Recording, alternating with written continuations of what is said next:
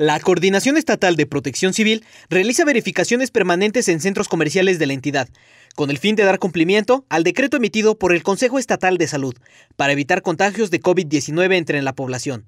Así lo señaló su titular, Juvencio Nieto Galicia. Estamos eh, eh, muy eh, vigilantes de llevar a cabo ciertas normas por parte de los comercios.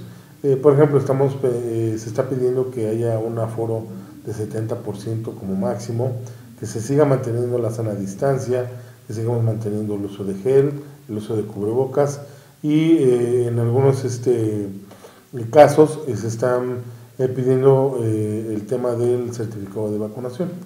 El funcionario estatal refirió que estas verificaciones serán permanentes, a pesar de que el semáforo de riesgo epidémico aún se conserva en color verde.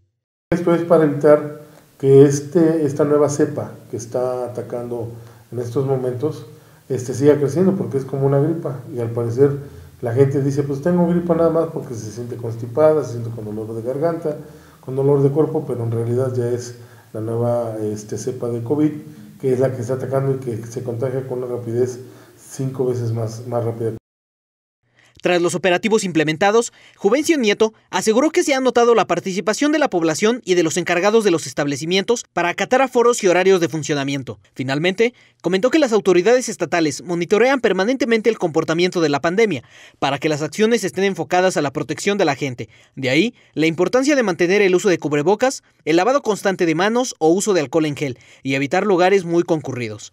Con información de Lorena Temolsin, ahora noticias.